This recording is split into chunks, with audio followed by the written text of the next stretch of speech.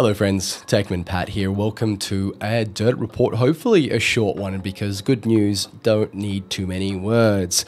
We have an update on whether the NBN is going to be sold and privatized. And the good news is, it might not be. Well, we'll soon find out what the Parliament says. So, I have a story for you about Labor moving to keep the NBN in public hands. Make sure to like and subscribe, and let's get started for rolling the intro. David Crowe from The Age is reporting on this one. Not for sale. Labor moves to keep NBN in public hands. The National Broadband Network will be kept in public ownership under a new federal law to be put to federal parliament this week in a surprise move by the federal government to assure 8.5 million customers the service will not be privatized. Now, I am all up for this. There is no way that our communication infrastructure should be private. That is the most ridiculous thing to do from a national security point of view, but also from a cost point of view, because as soon as you privatize it, prices will go up. And how do you think companies like Telstra, Aussie Broadband, and TPG are going to feel that they're now having to deal with a private company who's all about making return on investment for their shareholders? Well, let's continue reading. The law will force a debate in Parliament on the fate of the NBN and challenge the coalition to say whether it would try to sell the mammoth network after taxpayers funded the $51 billion project over more than a decade. Why should our taxpayer money now go to a private company after spending so much on it? And we're only just getting to the end of actually getting fibre to the premises across all of Australia. Prime Minister Anthony Albanese will take the plan to the Labor caucus meeting on Tuesday morning to clear the way for the bill to be put to Parliament on Wednesday, said sources familiar with the matter who spoke anonymously to discuss party deliberations. And of course, We've talked about this before. There's been a massive fear that the NBN was going to be sold, and putting in a law to block that is probably the best way to keep it that way, even if governments change. Now, in the past, I did a bit of research about which party, whether it be the Liberals or the Labor, tended to sell publicly owned uh, utilities. And I found that both companies, about 20 to 50 years ago, tended to sell public infrastructure willy nilly and privatizing it all the time to reduce their debt.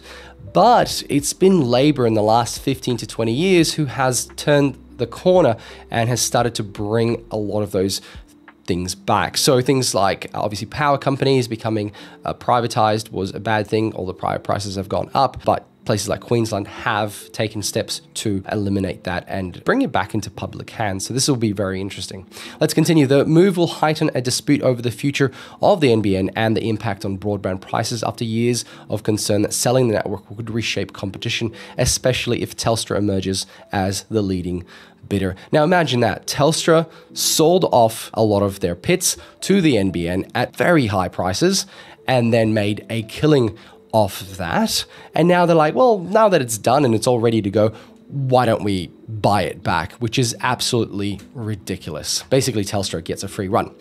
Coalition Communications spokesman David Coleman has blamed the government for letting the NBN increase its prices this year, setting up an election fight over broadband as part of the wider political dispute over the cost of living. In putting this draft law to Parliament, Labor will lay the ground for a political attack on opposition leader Peter Dutton if he leaves any room for the privatisation of the NBN at some point in the future. Now, we do know the history that the Liberal government decided to do the multi technology mix instead of going straight to fibre, which basically cost double the amount. So that 51 billion is kind kind of a bit of a mistake. It should have been at around probably 30 billion, maybe with some, you know, up and downs there, 35, but not 51. Now, in regards to NBN, it does make money. Its revenues increased by 4.4% to 5.5 billion, but it still posted a net loss of 1.4 billion, uh, though compared to 1.1 billion the year before. But we are in the process of upgrading, which is the most costly process. After all the upgrades are gone, the maintenance cost will be much lower, and that revenue will be much better placed to actually bring uh, money to the government, which they kind of need at the moment. Uh, Albanese went into the last election with a promise to keep the network in public hands, but the policy was never put into law. So I guess this is last hurrah to make that happen. Now, Communications Minister Michelle Rowland wrote to the NBN co-chair Kate McKenzie in July 2022 to set out the incoming government's expectations for the network.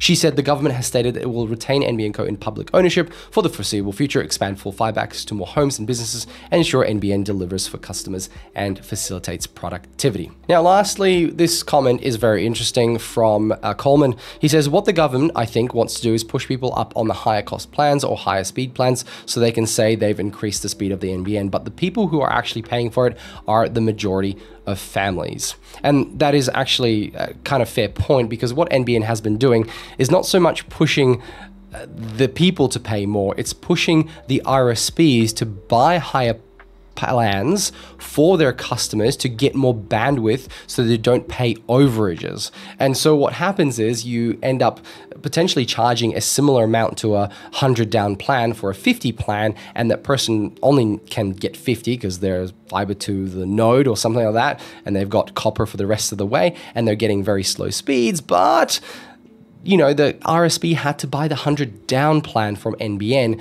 to provide enough bandwidth for everyone else who is using higher speeds on their network. So it's definitely the NBN's fault for forcing these weird price increases and these fake ways of getting people to upgrade to higher speeds. And you know, the other side of it is actually some people still can't get those higher speeds. So there's that. Is it a problem with the price increases? Yes, the prices have gone up and they'll continue going up, which means RSPs will put up their prices. And $90 to $100 for very average internet is way too expensive. So friends, let me know what you think below. Is this a good sign? I think it is a good sign. Obviously, NBN staying in public hands is best for all the people, that 8.5 million customers. And of course, going forward, all the upgrades and maintenance being maintained by a public entity, at least stuff will get done instead of just being left to rot, just to bleed it dry and make as much return on investment to all the shareholders. Make sure to like and subscribe. Thank you for watching this Dirt Report. I'll catch you all in another one. Bye.